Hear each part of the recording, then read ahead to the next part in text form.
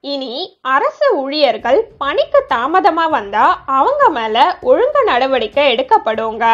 அனைத்து அரசு துறை செயலர்கள் துறை தலைவர்களுக்கு அரசின் சிறப்பு செயலர் கேசவன் அனுப்பியிருக்க சுற்றறிக்கையில அரசு ஊழியர்கள் பணிக்கு தாமதமா வர்றதாவும் பணி நேரத்துல இருக்கையில் இருக்கிறது இல்லைன்னு தொடர்ந்து புகார்கள் வருது. அலுவலக நேரத்துல அரசு ஊழியர்கள் அவங்க பணியிடத்துல கண்டிப்பா இருக்கணும். இல்லைன்னா அது சட்டப்படி குற்றம். அவங்க மேல ஒழுங்கு நடவடிக்கை எடுக்கப்படுங்க. அனைத்து அரசு துறை செயலர்கள் துறை தலைவர்கள் அவங்க துறைகள்ல திடீர்னு ஆய்வு செஞ்சு ஊழியர்கள் சரியான நேரத்துக்கு வராங்களா? பணி நேரத்துல இருக்காங்களான்றத ஆராயணும். ஆய்வுக்கு அப்புறம் எத்தனை அதிகாரிகள் ஊழியர்கள் மீது நடவடிக்கை எடுக்கப்பட்டுச்சுன்ற விவரத்தை மாதந்தோறும் சமர்ப்பிக்கணுங்க.